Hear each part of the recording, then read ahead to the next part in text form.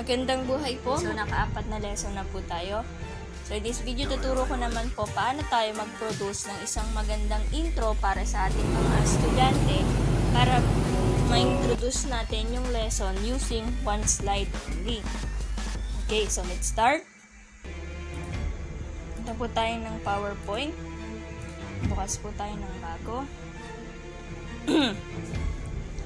okay, so punta po tayo ng design, page setup. Gawin po natin 16 by 9. Okay.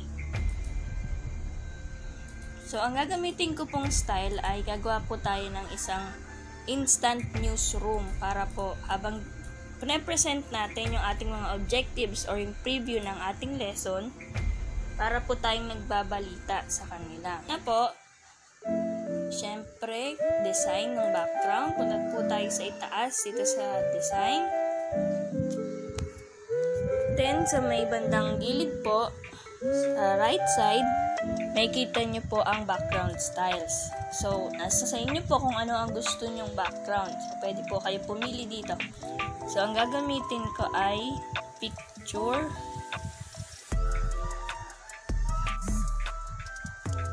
Sa textures po, pwede tayo pumili dito na parang ading-ding. Siguro po pwede tayong isip ng ganun. So, um, ayan. So, ito po ang aking napili. Po natin ang apply to all. Close. Ayan. So, meron na tayong background. So, sa newsroom, kailangan natin ng panel para po dito sa gitna. So, paano natin gagawin? Insert. Punta tayo ng shapes. Select uh, rectangle shape. Then, stretch po natin dito sa ating slide. Then, no outline.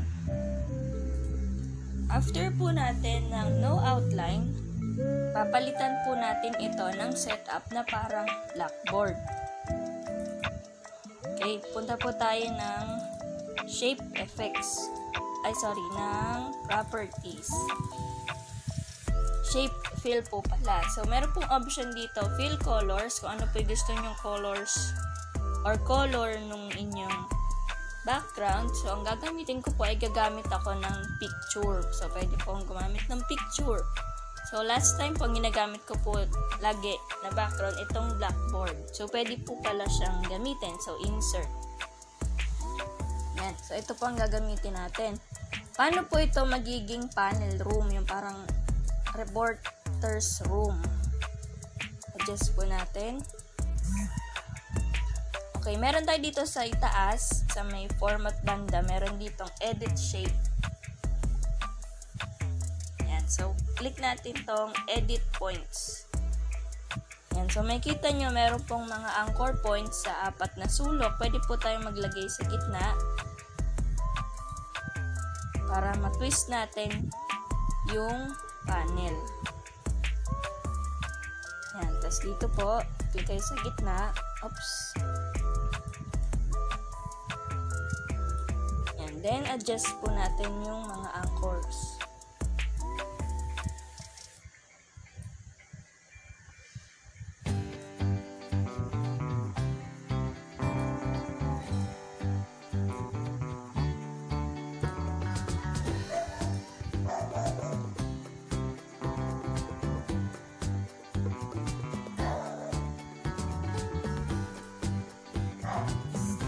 Okay, let's continue.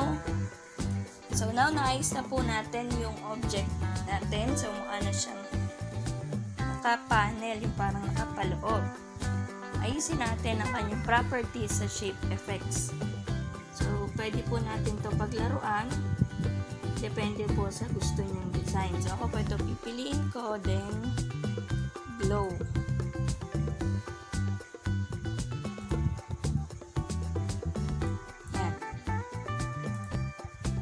Pwede pa, siguro pwede pa po natin siya i-twist para mukha talaga siyang nakapaloob.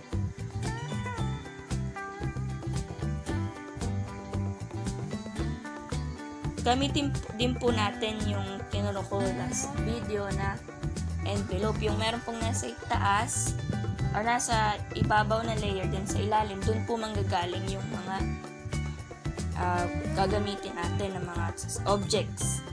So, paano po yun? So, gawa tayo ng mga shapes. Isipin po natin paano ba mapoproduce yung mga objects na papakita natin dito sa ating napiling panel board. So, gawa po tayong shape.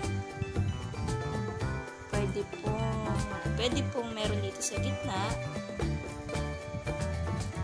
Then, gawin natin siyang black. No outline. Then, gawa po ulit tayo ng shape. Dito naman,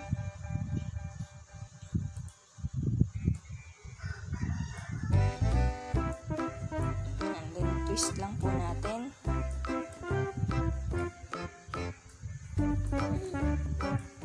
And then, Control C, copy natin, Control B.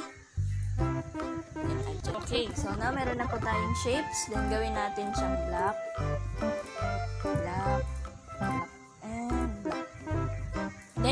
Natin yung mga black na shapes. Then, group. Pwede pong Control G.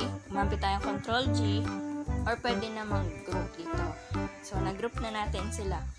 Then, let's duplicate this layer, control, control J, o kaya duplicate slide. So, yan.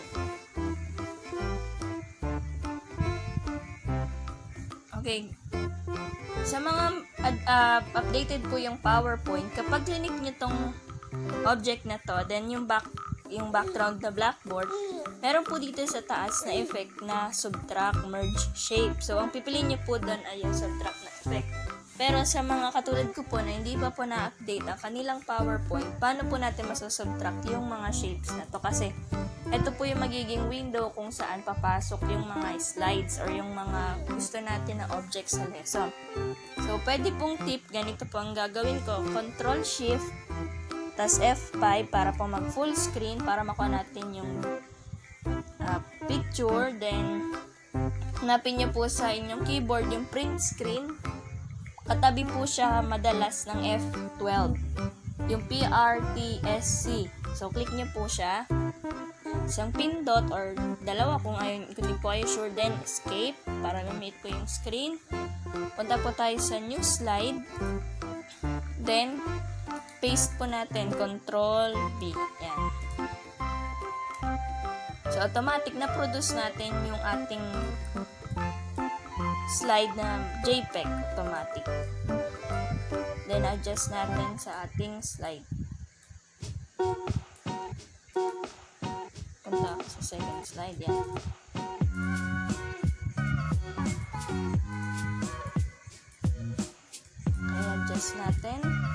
Parang siya yung belong doon sa slide.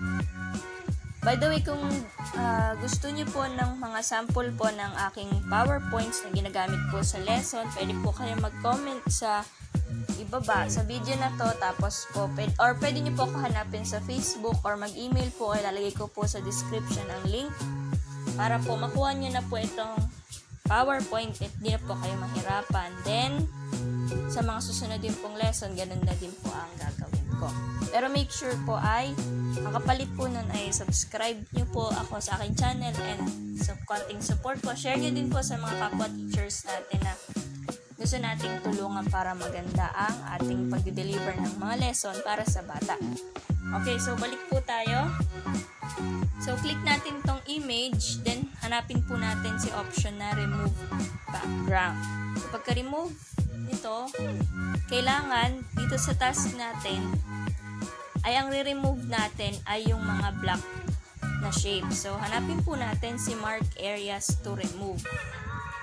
Ito po yun. So, ibig sabihin, re-remove natin tong black.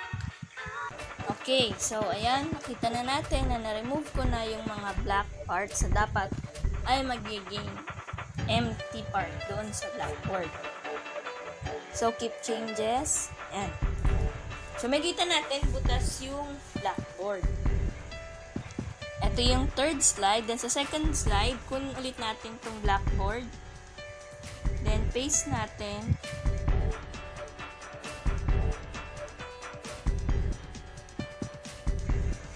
Okay. So, na, kagaya nga ng sabi ko kanina, mas maganda kung merong reporter sa gitna. So, gawa tayo ng platform, insert shape.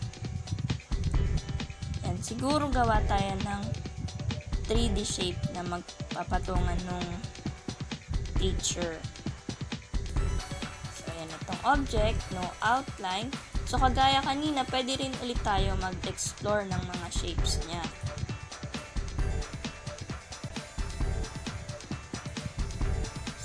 Gamitin natin ang shadow para makita na belong siya doon sa ating PowerPoint. Then, pwede din po na yung shape na to ay gawin nating picture. And then, pwede din na yung shape na to, ang fill niya ay yung ginamit natin ng mga preset na texture. Okay, dahil gusto ko na parang nakatayo sa platform, ito yung gagamitin ko. Okay. Then, paano tayo pipili ng teacher sa gitna? So, last time, ay, lagawa tayo ng shape dito para makita na may sahig. Yan. Gawin natin siyang black. No outline, then send to backward send to back. Yan. So, may division na tayong sa sahig to. Okay, so last time, nag-download na ako. Bago ko i-record to, meron na akong mga preset na video. Ito yung, vid uh, ito yung animated na teacher na din-download ko last time dun sa aking uh, tutorial. So, ito, itong uh, clip art uh, JF na to, nire-represent niya si teacher dahil siya gumagalaw. Imagine natin na nag-explain siya. Then, nandiyan sa ating tong platform. Then, lagyan natin ng shadow si teacher para mukha siyang nakapatong doon, ay nakatungtong doon sa platform. So, preview natin. Shift F5 para po makita ang PowerPoint. Yan. So, nakikita, si teacher ay mukha talaga yung nagpe-present at meron siyang mga sinasabi. Or pwede na habang i-play niyo itong PowerPoint sa kanila, ay kayo na mismo yung nagnanarrate. So, ano ba yung mga inanarrate ninyo, teachers?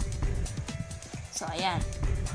Ito po yung mga possible techniques kapag nag introduce tayo ng madaming topic sa isang maghapon na lesson para malaman na ng mga bata na ano-ano ba yung mga matututunan nila sa araw na yon. So, pwede tayong maglagay ng video and pictures.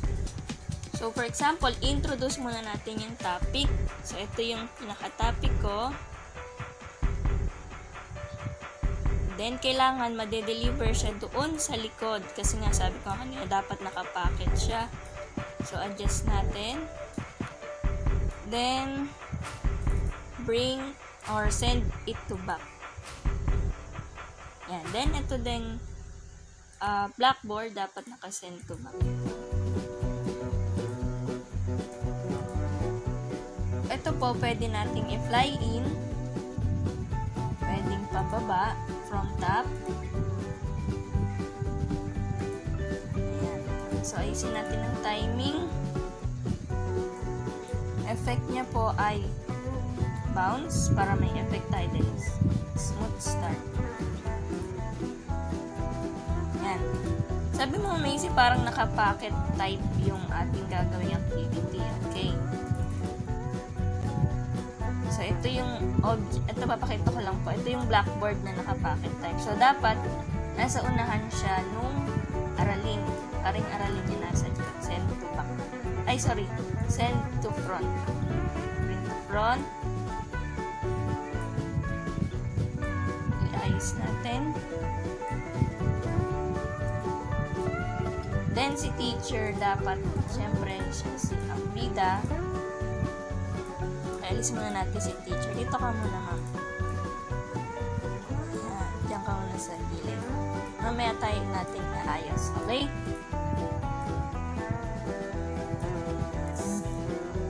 So, ayan. Kita nyo yung aralin ay nandoon sa likod ng unang object. pwede nyo din siya i-crop para yung mga dimensions hindi nang auto-click ng malaki yung PowerPoint dahil may duplicate naman sa likod. Okay, so adjust natin tong aralin. Pwede natin siyang i-crop para mag-adjust siya doon sa packet ng blackboard.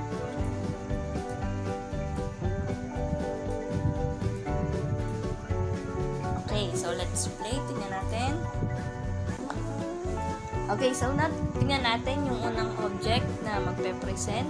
Ayan.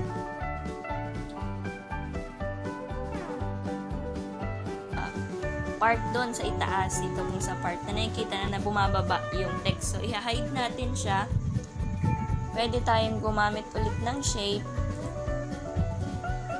Insert shape para lang ma-hide natin yung part na yun.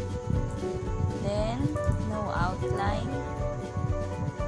Tapos, ganun po ulit. Yung gamitin nating texture ay yung background. Huwag natin masyadong lakihan.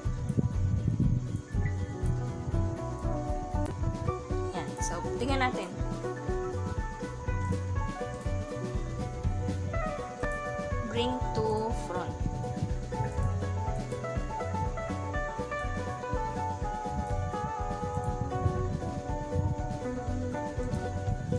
Present mo. Then, ganun lang din po sa mga susunod na object. So, insert tayo. Pwedeng insert ng video. Ito po sa desktop na inilagay na akong video. naglo-load pa siya. Okay, so ito yung video. Stretch natin. Pwedeng ditong part yung video. Stretch natin. So, dahil pag click natin siya dapat, nagpe-play na agad siya. So, dapat kasama siya. So, automatically, then loop until it stop para habang piniplay po natin yung ibang topics ay nagpe-play dito video. Then, uh, yung mga properties lang po ng audit. So, kanya-kanya na po tayong edit doon. Then, send to back para mapunta po siya sa likuran.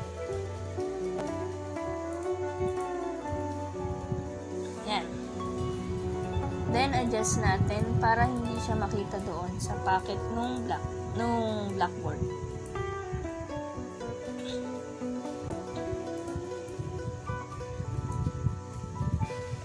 Yan. Display. Okay, so nakita natin. So, ganun lang din po. Insert, sunod, picture ulit.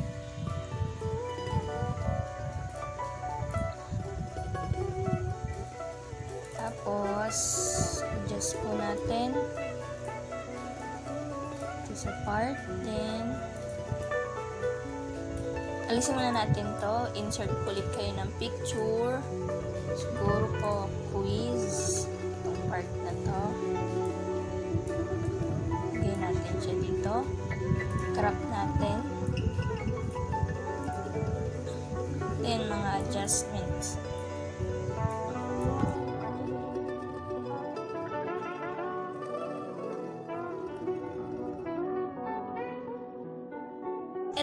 Pa siyang ito, wala pa siyang animation. Paano siya lalabas? So, ganun po ulit.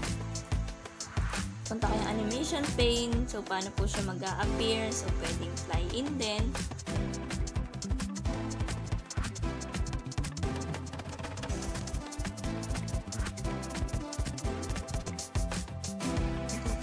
Ayusin po natin yung mga properties.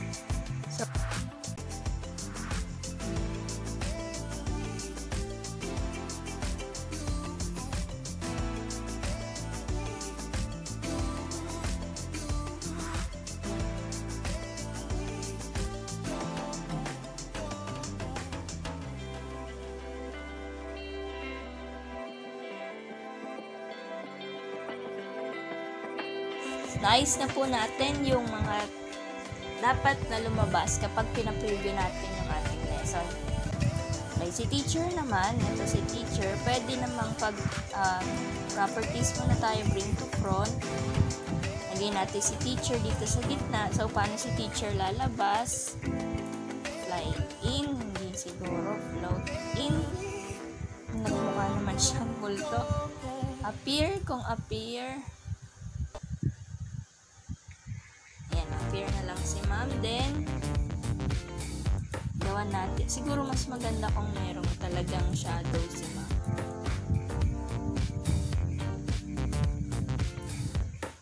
Ah, hindi talaga siya makita. Okay, wag na. So, ayusin natin si teacher. Medyo lakihan natin. Portion. Yan. So, pwede na natin i-play ang ating presentation pag naka-present na talaga siya sa screen. So, clinic ko po yung Shift F5. Wait po natin.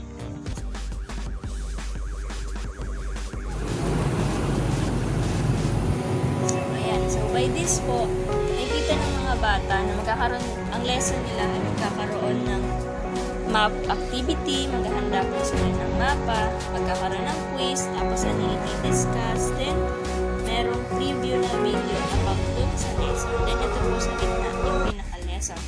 So, ship F5 natin.